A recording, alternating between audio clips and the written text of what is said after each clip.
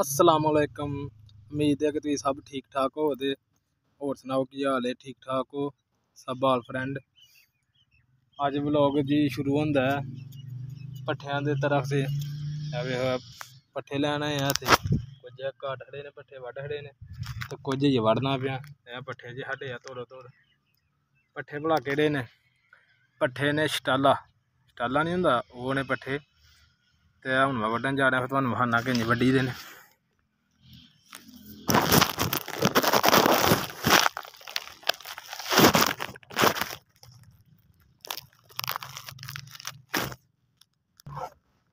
ਇਹ ਜੀ ਪੱਠੇ ਹੁਣ ਲਗਾਵਾਂ ਵੱਢਣ। ਦੇਖੋ ਕਾਸੇ ਵੱਢੇ ਜਾਂਦੇ। ਇਹ ਪੱਠੇ ਜੀ। ਸਟਾਲਾ। ਆ ਕਿਹਾ ਜਾਂਦਾ ਸਟਾਲਾ। ਪੱਠੇ ਤਾਂ ਬਾਕੀ ਬਹੁਤ ਹੁੰਦੇ ਨੇ।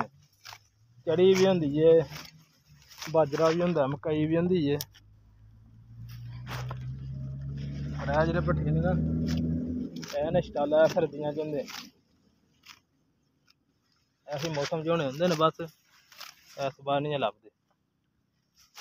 ਯਾਨੀ ਕਿ ਆ ਪੂਰੀ ਪੂਰੇ ਸਿਆਲ, ਸਰਦੀਆਂ ਪੂਰੀਆਂ ਚੈਨਲ ਨੂੰ ਸਬਸਕ੍ਰਾਈਬ ਕਰੋ ਔਰ ਵੀਡੀਓ ਨਵੀਂ ਤੋਂ ਨਵੀਂ ਵੇਖੋ।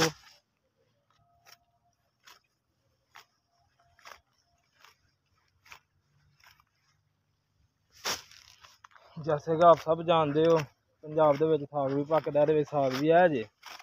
ਸਰੋਂ ਇਹ ਵੇਖੋ। ਇਹ ਜਿਹੜਾ ਬੂਟਾ ਹੈ ਨਾ ਇਹ ਸਾਗ ਦਾ ਜੇ ਸਰੋਂ ਇਹ ਵੇਖੋ।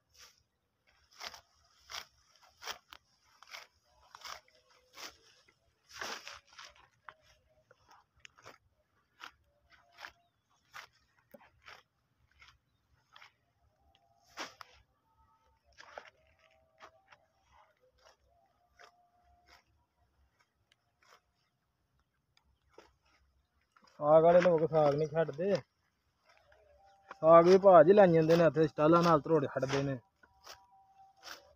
ਤਾਂ ਤਾਂ ਮੈਂ ਸਵੀਟ ਮਾਰਨ ਆ